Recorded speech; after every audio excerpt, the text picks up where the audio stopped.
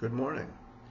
My name is Jamie Breen, and this is the first morning of my uh, vlog. Is that what it is? A vlog? Um, so I've been watching recently um, some influencers, mostly uh, 20 to 30 something girls, talking about their uh, uh travails and uh, challenges and the way that they solve those challenges. And I thought, well, what what the world really needs is a, is a 62 year old uh, male on uh, on the uh, on the vlogoscape. So uh, so here I am. If you're seeing this, that means I actually posted it, which is uh, which is something that uh, remains to be seen whether it will happen or not. Um, I have no idea how to generate followers. Um, I guess I have to have something interesting to say and some sort of um, some sort of uh, client acquisition strategy. So we'll, we'll, see where this all goes. Um, probably there'll be three or four things that that, that, that, that I talk about here. Um, uh, primarily, though, this is uh, you know sort of the life of of someone near retirement. Um, I've worked in the investment management industry now for for nearly 40 years. Um, I do have a couple of um, couple of pearls of wisdom um, and, and, a lot of uh, and a lot of probably horseshit. I know that, that pearls don't live in horseshit. That would be a mis- mixed metaphor, but uh, uh, you'll have to you'll have to bear with me as I learn how to, to communicate in this medium. Um, today is January 31st, 2024 um, for reasons that I don't quite understand.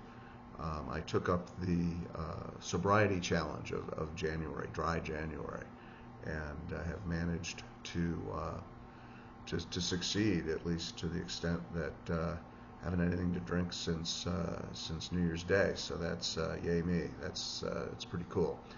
Um, no judgment against anybody, but for me, I've got to say at this point, it's it's worked out pretty well. I find that I'm sleeping really well. Um, um, I've been uh, my, my, workouts have been better than they, they had been prior to this. Uh, uh, so uh, that may be a, a, second theme that we that we explore here. Um, uh, my, my plan um, is to continue with this, although I'm not committing to do or not do anything. Um, but at this moment, uh, it seems like a like a like a pretty good thing to to, to do.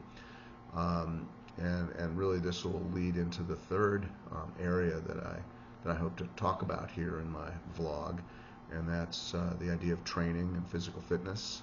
Um, uh, I'm a I'm a swimmer.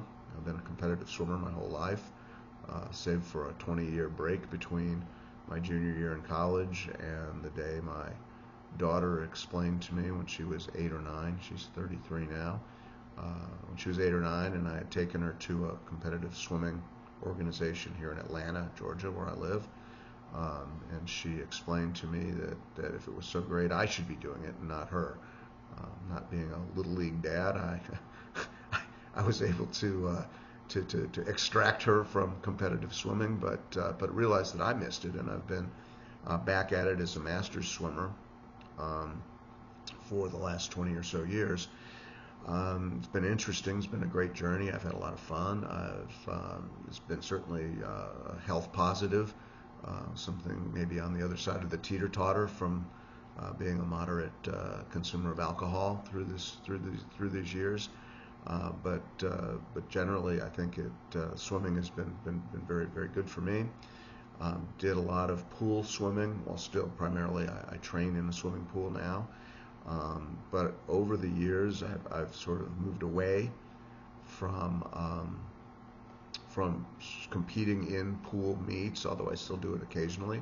But I've, I've really gravitated towards open water swimming. Um, I, I, compete e- each year in a five mile um, open water swim, uh, which goes between uh, Buck Island um, in St. Croix, U.S. Virgin Islands, to the Buccaneer Resort, which is uh, a five mile swim. Um, I've competed in it, I think, eight times.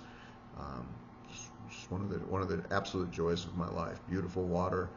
Um, I've seen so many cool things on that swim, and it's uh, at five miles. It's a it's a it's a reasonably uh, reasonably big challenge, but it's, it's something that, that, that I've been able to do.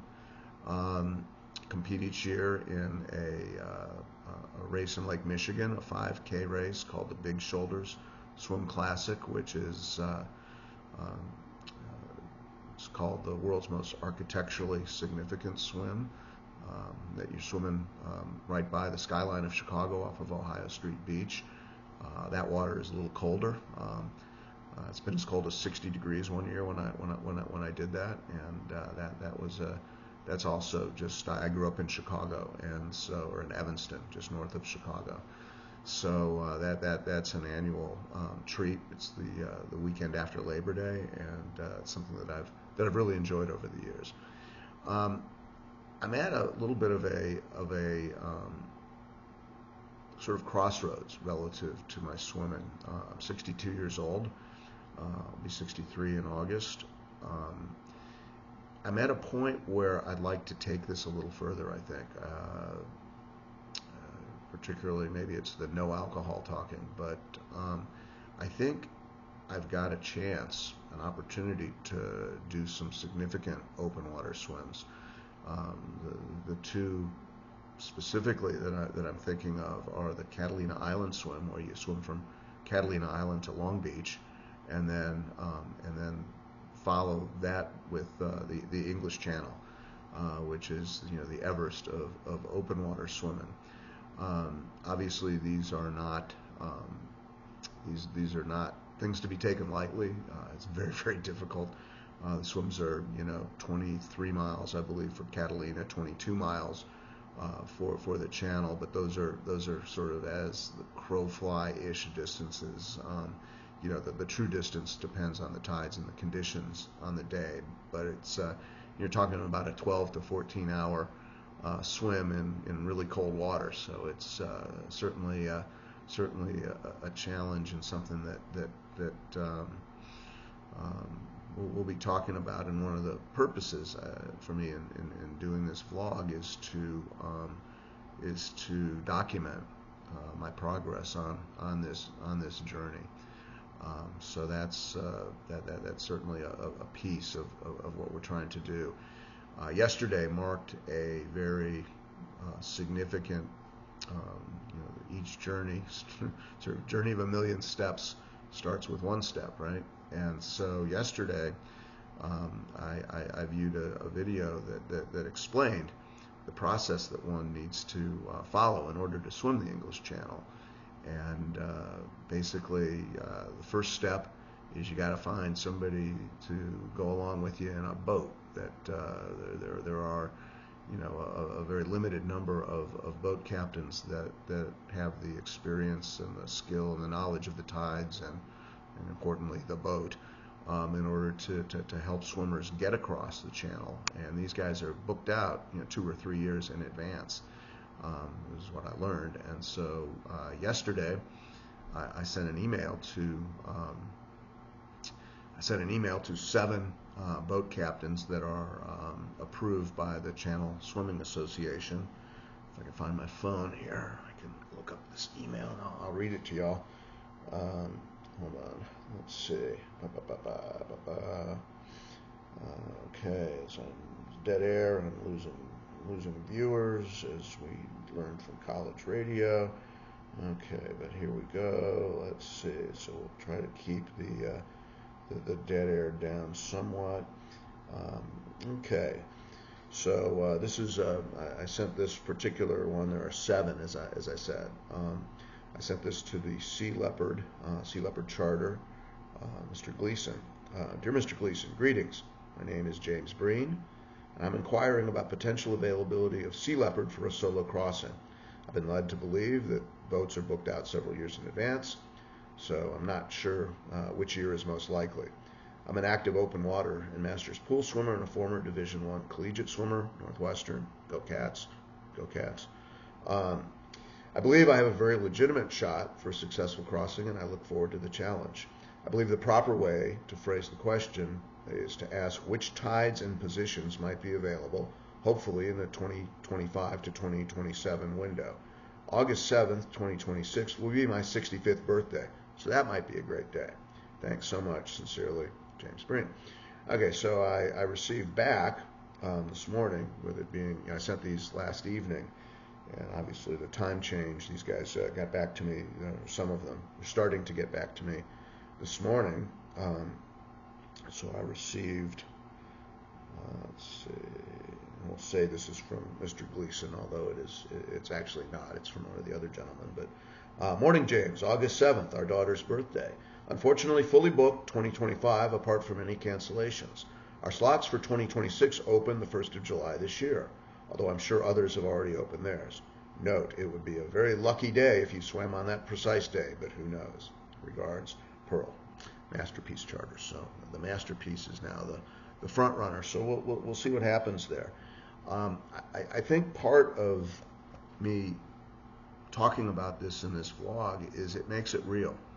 And I think uh, any any challenge like this, um, you know, to make it real, you have to you have to start and and, and, and be intentional.